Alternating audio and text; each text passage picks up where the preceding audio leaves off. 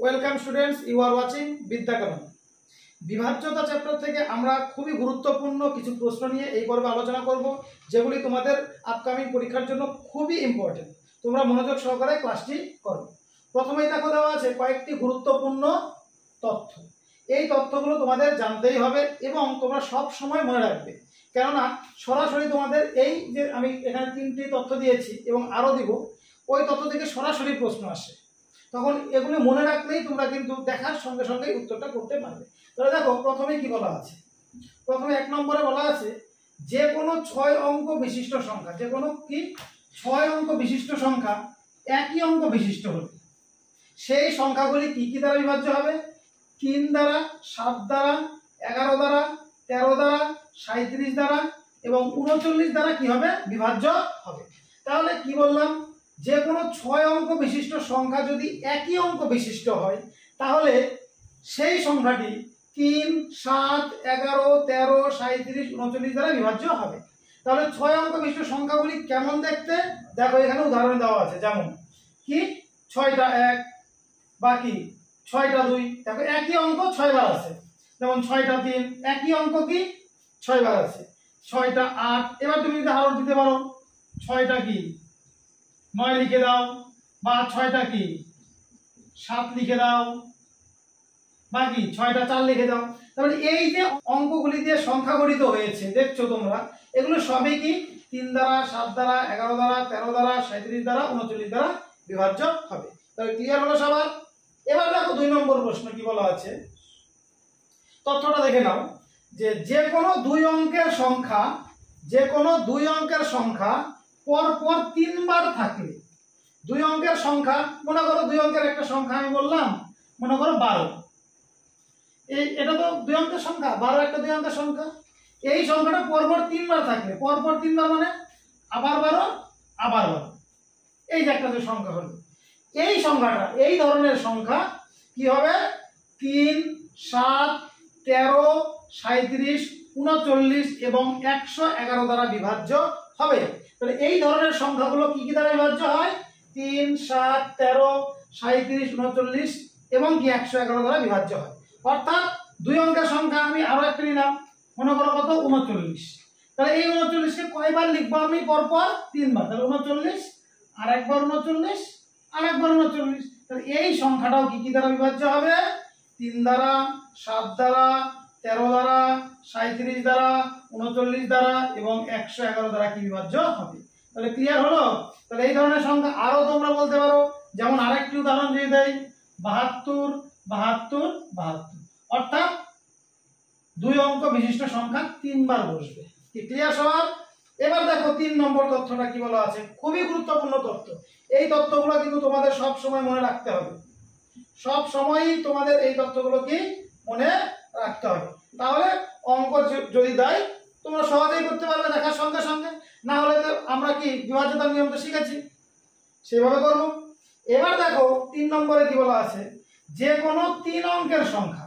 এবার কি? যে কোনো তিন অঙ্কের সংখ্যা। মনে করো একটা তিন অঙ্কের সংখ্যা নিলাম পাঁচশো ছত্রিশ। এটা একটা তিন অঙ্কের সংখ্যা। এই তিন অঙ্কের সংখ্যা পরপর দুবার বসবে। পরপর দুবার থাকলে। তাহলে পাঁচশো ছত্রিশ, আবার পাঁচশো ছত্রিশ বসাবো। কি ক্লিয়ার হলো? এই একবার এই একবার। তাহলে বলছে যে কোনো তিন অঙ্কের সংখ্যা পরপর দুবার থাকলে যে এই যে সংখ্যাটা হলো, এই সংখ্যাটা কি কি দ্বারা? সাত দ্বারা, তেরো দ্বারা এবং এক হাজার এক দ্বারা কি হবে? বিভাজ্য হবে। কি ক্লিয়ার হলো? দেখো এখানে উদাহরণ দেওয়া আছে কত? দেখো, তিনশো পনেরো, আবার তিনশো পনেরো। তার মানে তিন অঙ্কের সংখ্যা পরপর কতবার বসেছে? দুবার। একই রকম ভাবে দেখো, আটশো তেইশ এখানে দেখো কত? আটশো তেইশ। তাহলে তিন অঙ্কের সংখ্যা পরপর কবার বসেছে। দুবার একই রকম ভাবে ছয়শো বারো ছয়শো বারো মানে একই সংখ্যা মানে তিন অঙ্কের সংখ্যা। পরপর দুবার বসলে সেই সংখ্যাগুলি কত দ্বারা কত দ্বারা বিভাজ্য হয়? সাত দ্বারা বিভাজ্য হবে, তেরো দ্বারা বিভাজ্য হবে, এবং এক হাজার এক দ্বারা কি হবে? বিভাজ্য হবে। এই গুরুত্বপূর্ণ তথ্যগুলো তোমাদের সবসময় মনে রাখতে হবে। এবার দেখো, আরও কয়েকটি খুবই গুরুত্বপূর্ণ তথ্য এখানে দেওয়া হলো। কি দেখো? কি বলা আছে এখানে? এক নম্বরে যদি দেখি, দুটি ক্রমিক সংখ্যার গুণফল সর্বদা দুই দ্বারা বিভাজ্য। দুটি ক্রমিক সংখ্যার গুণফল সর্বদা দুই দ্বারা বিভাজ্য। দুটি ক্রমিক সংখ্যা বলতে আমরা কি বুঝি? পরপর দুটি সংখ্যা। যদি একটি সংখ্যা পাঁচ হয় তারপরের সংখ্যা হবে কি? ছয়। তাহলে এদের গুণফল সবসময় দেখো দুই দ্বারা ভাগ করা যাবে। দেখো, আমি কি এই দুই দিয়ে ছয়কে ভাগ করলে কত হবে? তিন। তাহলে তিন পাঁচা পনেরো হচ্ছে আনসার কি বোঝা গেল? বা এভাবে তোমরা বলতে পারো। পরপর দুটি সংখ্যা হচ্ছে মনে করো একটা তিন আর একটা কত? চার। তাহলে তিন চারে কত? বারো হচ্ছে গুণফল। বারোকে দেখো দুই দ্বারা ভাগ করা যাবে কি ক্লিয়ার হলো? এবার দেখো তারপরে তথ্যটা কি বলা আছে? যে তিনটি ক্রমিক সংখ্যার গুণফল সর্বদা ছয় দ্বারা বিভাজ্য এবার বলো তিনটি ক্রমিক সংখ্যার গুণফল। তাহলে তিনটি ক্রমিক সংখ্যা বলতে আমরা কি বুঝি? একই রকম ভাবে যদি একটি সংখ্যা যদি দুই ধরি, তাহলে তারপরে সংখ্যা হচ্ছে তিন তারপরে সংখ্যা হচ্ছে চার মানে পরপর সংখ্যা। একটি সংখ্যা যদি উনিশ হয়, তারপরটা হবে কি? উনিশ কুড়ি একুশ। পরপর তিনটি সংখ্যা। ক্রমিক নং, তোমরা জানো সবাই, পরপর হয়। তাহলে তিনটি ক্রমিক সংখ্যার গুণফল সর্বদা কত? ছয় দ্বারা বিভাজ্য। তাহলে দেখো, আমি যদি একটি সংখ্যা দুই তারপর একটি তিন তারপর একটা চার ধরি, তাহলে পরপর সংখ্যা হলো ক্রমিক সংখ্যা দুই, তিন, চার। এদের গুণ করো। এদের যদি আমরা গুণ করি, গুণ করলে আমাদের কত আসবে? তিন দুগুণে ছয়?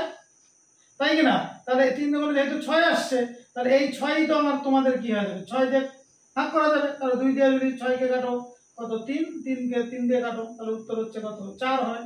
তার মানে ছয় দ্বারাই ভাজ্য, বোঝাই যায়। বা তোমরা গুণ করেও দেখতে পারো। কীরকম? তিন দুগুণে ছয়, চার ছয় কত? চব্বিশ। চব্বিশকে দেখো, ছয় দ্বারা ভাগ করতে পারবে। চার ছয়, চব্বিশ। কি বোঝা গেল কথাটা? পর পর তিনটি সংখ্যার গুণফল সর্বদা ছয় দ্বারা বিভাজ্য। অর্থাৎ তিনটি ক্রমিক সংখ্যার গুণফল সর্বদা ছয় দ্বারা বিভাজ্য। ক্লিয়ার হয়েছে? এরপর দেখো, চারটি ক্রমিক সংখ্যার গুণফল সর্বদা চব্বিশ দ্বারা বিভাজ্য। তাহলে এটা তোমরা নিজেরা বাড়িতে প্র্যাকটিস করে দেখবে, নিজেরা করবে। তোমরা সবসময় মনেই রাখবে, তাহলে তোমাদের অঙ্ক করতে সুবিধা হবে। যে চারটি ক্রমিক সংখ্যার গুণফল সর্বদা কি? চব্বিশ দ্বারা বিভাজ্য। একই রকম ভাবে দেখো, পাঁচটি ক্রমিক সংখ্যার গুণফল, কয়টি? পাঁচটি ক্রমিক সংখ্যার গুণফল কত দ্বারা বিভাজ্য হবে? সর্বদা একশো কুড়ি দ্বারা বিভাজ্য হবে।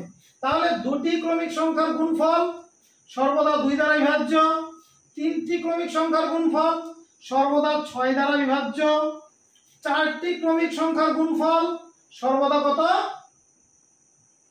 চব্বিশ দ্বারা বিভাজ্য। একই রকম ভাবে পাঁচটি ক্রমিক সংখ্যার গুণফল সর্বদা একশো কুড়ি দ্বারা বিভাজ্য। সব ক্লিয়ার হলো? এরপরে দেখো, পরের তথ্যটা খুবই গুরুত্বপূর্ণ। কি বলা আছে? তিনটি ক্রমিক সংখ্যার সমষ্টি। এখানে কি ছিল? গুণফল। এখানে কি ছিল আমাদের? গুণফল দেওয়া ছিল। আগেরগুলো ছিল তিনটি ক্রমিক সংখ্যার গুণফল বা দুটি ক্রমিক সংখ্যার গুণফল দেওয়া ছিল। কিন্তু এই বিবৃতিতে দেখো, কি বলা আছে? তিনটি ক্রমিক সংখ্যার সমষ্টি। সমষ্টি মানে আমরা কি জানি? যোগ। যোগ ফল তিনটি ক্রমিক সংখ্যার সমষ্টি সর্বদা তিন দ্বারা বিভাজ্য। তাহলে দেখি আমরা দুটো উদাহরণ নিয়ে দেখি। মনে করো ক্রমিক সংখ্যা হচ্ছে দুই, তিন, চার। তাহলে যোগ করো এবার। তাহলে হচ্ছে দুই, তিনে পাঁচ পাঁচ, চারে কত? নয়। দেখো নয়কে তিন দ্বারা আমরা ভাগ করতে পারি। কি, ভাগ করতে পারি কি না নয়কে?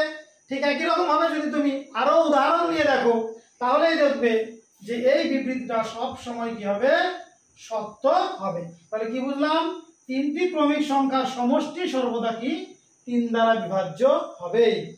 এবার দেখো, তারপরের বিবৃতিটা খুবই ইম্পর্টেন্ট কি বলা আছে? তিন অঙ্ক বিশিষ্ট কোনো সংখ্যা থেকে, তিন অঙ্ক বিশিষ্ট সংখ্যা, তিন অঙ্ক বিশিষ্ট কোনো সংখ্যা থেকে তার অঙ্কগুলির সমষ্টি বিয়োগ করলে বিয়োগ ফল সর্বদা নয় দ্বারা বিভাজ্য। বিয়োগ ফলটা কি হবে? নয় দ্বারা বিভাজ্য হবে। তাহলে আমি একটা উদাহরণ নিয়ে দেখি এখানে। তাহলে তোমাদের বুঝতে সুবিধা হবে। কি বলা আছে দেখো। কি বলেছে? তিন অঙ্ক বিশিষ্ট কোনো সংখ্যা। তিন অঙ্ক বিশিষ্ট একটা সংখ্যা ধরো। মনে করো একটা সংখ্যা ধরলাম, তিন অঙ্ক বিশিষ্ট সংখ্যা দুইশো কত? পনেরো। কি ক্লিয়ার হলো সবার? তিন অঙ্ক একটা বিশিষ্ট সংখ্যা। এই সংখ্যা থেকে তার অঙ্কগুলির সমষ্টি। তাহলে অঙ্কগুলির সমষ্টি মানে কি? এখানে তিনটি অঙ্ক আছে, দুই, এক, পাঁচ। তাহলে এদের অঙ্কগুলোর সমষ্টি হচ্ছে দুই যোগ এক যোগ পাঁচ। তাহলে দুই যোগ এক যোগ পাঁচ যদি করি, কত হয় আমাদের? দুই একে তিন, আর পাঁচে হচ্ছে আট। তাহলে অঙ্কগুলির সমষ্টি কত বের হলো? আট। এবার কি বলেছে? এই যে তিন অঙ্ক বিশিষ্ট সংখ্যা ছিল, সেই সংখ্যা থেকে এই অঙ্কগুলির সমষ্টি বিয়োগ করলে এবার আমি এই তিন অঙ্ক বিশিষ্ট সংখ্যা কত ছিল? দুইশো পনেরো এই দুইশো পনেরো থেকে আটটা আমি কি করব? বিয়োগ করব। এই অঙ্কগুলোর সমষ্টি বিয়োগ করতে বলেছে। কি করতে বলেছে? দেখো, ভালো করে লক্ষ্য করো। বিয়োগ করলে তিন অঙ্ক বিশিষ্ট কোনো সংখ্যা থেকে তার অঙ্কগুলির সমষ্টি সমষ্টি মানে যোগফল। বিয়োগ করলে, তাহলে যোগফলটা বিয়োগ করে দিব। তাহলে বিয়োগ যদি করি, আমাদের কত আসবে? সাত সাত, শূন্য, কত আসবে? দুই। দুইশো কত? সাত। এবার এই দুইশো সাত দেখো নয় দ্বারা বিভাজ্য কিনা। দুইশো সাত অবশ্যই নয় দ্বারা বিভাজ্য কারণ আমরা শিখেছি দুইশো সাত নয় দ্বারা বিভাজ্য কেন? কারণ আমরা কি করব? এই অঙ্কগুলো যোগ করে দেখব। দুই আর শূন্য যোগ করলে দুই দুই আর সাথে হচ্ছে নয়। কীভাবে আমরা জানি? বিভাজ্যতার নিয়ম কি জানি? নয় দ্বারা। নয় দ্বারা বিভাজ্যতার নিয়ম জানি কি? দুই যোগ শূন্য যোগ সাত। অর্থাৎ অঙ্কগুলো যোগ করতে হয়। অঙ্কগুলোর যোগ করলে যদি নয় আসে বা নয় দ্বারা বিভাজ্য যায়, এমন সংখ্যা আসে, তাহলে সেটা নয় দ্বারা বিভাজ্য। তাহলে যোগ অঙ্ক করার যোগ করে দেখলাম নয় আসলো, তাহলে নয়কে আমরা নয় দ্বারা কি ভাগ করতে পারি? তাহলে বলতে পারি কি, এই সংখ্যাটা আমাদের কি নয় দ্বারা বিভাজ্য। কি ক্লিয়ার হয়েছে সবার? তাহলে দেখো আবার বলছি, তিন অঙ্ক বিশিষ্ট কোনো সংখ্যা থেকে, আমি ধরেছিলাম দুইশো পনেরো একটা সংখ্যা, সেই সংখ্যা থেকে তার অঙ্কগুলির সমষ্টি বিয়োগ। তার অঙ্কগুলির সমষ্টি দেখো, এখানে করা ছিল আট, এই যে সংখ্যা থেকে আট বিয়োগ করলাম, কত বেরোলো আমাদের? দুইশো সাত। দুইশো সাত আর আট যোগ করলে দুইশো পনেরো। এবার এই দুইশো সাত সংখ্যাটা অবশ্যই আমাদের নয় দ্বারা বিভাজ্য যায়। নয় দ্বারা বিভাজ্যতার নিয়মটা আমরা জানি কি? যে অঙ্কগুলো থাকে তাদেরকে যোগ করতে হয়। যোগ করার পরে যদি নয় দ্বারা বিভাজ্য হয়, তাহলে ওই সংখ্যাটা নয় দ্বারা বিভাজ্য। ওইভাবেই করে দিলাম, বা নয় দ্বারা তোমরা সরাসরি ভাগ করেও দেখতে পারবে। যে ভাগ করে যদি দেখো, দেখবে ভাগশেষ শূন্য আসবে। তাহলে আমরা বলতে পারি যে ওই সংখ্যাটা নয় দ্বারা বিভাজ্য। ক্লিয়ার হলো সবার? এবার দেখো, কি বলা আছে? খুবই গুরুত্বপূর্ণ একটি তথ্য এখানে দেওয়া হলো। কি? যে কোনো দুই অঙ্ক বিশিষ্ট সংখ্যা। যে কোনো দুই অঙ্ক বিশিষ্ট সংখ্যা, মনে করো দুই অঙ্ক বিশিষ্ট সংখ্যা একটি ধরো মনে করো তোমরা ছত্রিশ, কত? ছত্রিশ একটি দুই অঙ্ক বিশিষ্ট সংখ্যা। এবং তার অঙ্কদ্বয়ের স্থান পরিবর্তন করলে যে সংখ্যা হয়। তাহলে অঙ্কদ্বয় যদি স্থান পরিবর্তন করে, সংখ্যাটা হবে কত? ছয়, তিন, তেষট্টি হবে। ঠিক ক্লিয়ার হলো? তাহলে বলেছে, এই তাদের সমষ্টি সর্বদা এগারো দ্বারা বিভাজ্য তাদের সমষ্টি বলতে এই দুটি সংখ্যা এবার যোগ করে দাও। যোগ করে দিলে দেখো কত হয়? নয়, ছয়, তিন হচ্ছে নয়। দেখো নিরানব্বইকে কি? সবসময় কি? এগারো দ্বারা বিভাজ্য এগারো দ্বারা কি? বিভাজ্য তাহলে ক্লিয়ার হলো? তোমরা বুঝতে পারলে? খুবই গুরুত্বপূর্ণ একটি তথ্য এখানে দেওয়া হলো। আবার বলছি, যে কোনো দুই অঙ্ক বিশিষ্ট সংখ্যা, ধরলাম কত? ছত্রিশ। এবং তার অঙ্কদয়ের অঙ্কদয়ের স্থান পরিবর্তন করে যে সংখ্যা হয়, তাহলে অঙ্কদয়ের স্থান পরিবর্তন করলে কি- কি হবে? ছয়টা এখানে যাবে, তিনটা এখানে যাবে, তেষট্টি হবে। এদের সমষ্টি, তাদের সমষ্টি সমষ্টি মানে কি? যোগফল। যোগফল সর্বদা এগারো দ্বারা বিভাজ্য তাহলে যোগ করে দাও। যোগ করলে কত? ছয় তিনে নয়, তিন ছয় কত? নয়। তাহলে নিরানব্বই আসলো, নিরানব্বই সবসময় এগারো দ্বারা বিভাজ্য। এবার তুমি মনে করো না, আমি আর একটা উদাহরণ নেব। নাও, মনে করো একটি সংখ্যা হলো কত? বাহান্ন। তাহলে স্থান পরিবর্তন করলে আরেকটা সংখ্যা হবে কত? দুই। আর পাঁচ, তাহলে আমাদের কত আসবে? দুই পাঁচে হচ্ছে সাত। পাঁচ আর দুই কত? সাত। তাহলে সাতাত্তরকে আমরা কি এগারো দ্বারা বিভাজ্য হয়? সাতাত্তর সবসময় কি? এগারো দ্বারা বিভাজ্য। তাহলে ক্লিয়ার হলো সবার? একই রকম ভাবে, এবার দুই নম্বরে কি বলেছে? আগে ছিল এক নম্বরে বলেছিল, তাদের সমষ্টি সর্বদা এগারো দ্বারা বিভাজ্য এবার দুই নম্বরে বলেছে, তাদের অন্তর সর্বদা, অন্তর মানে বিয়োগ ফল অন্তর মানে কি? বিয়োগ ফল বিয়োগ ফলটা সর্বদা নয় দ্বারা বিভাজ্য দেখি আগের সংখ্যাটা আমরা কত ধরেছিলাম? সংখ্যাটা ধরেছিলাম ছত্রিশ, এবং যদি আমার স্থান পরিবর্তন করে দেয় সংখ্যাটা হবে হচ্ছে কত? তেষট্টি। তাহলে তুমি কি করো? অন্তরটা সবসময় কি? বড়টা তেষট্টিটা করো। তাহলে তেষট্টির থেকে কত বাদ দিব? ছত্রিশ। তেষট্টির থেকে ছত্রিশ বাদ দিব কেন? যেহেতু বলেছে অন্তর বা বিয়োগ ফল বিয়োগ করলে কত আসবে? তেরো তেরো থেকে ছয় বাদ দিলে হচ্ছে সাত, হাতে হচ্ছে এক এক আর তিনে চার, ছয় থেকে চার বাদ দিলে হচ্ছে দুই, সাতাশ। তাহলে দেখো, সাতাশকে সবসময় নয় দ্বারা ভাগ করা যায়?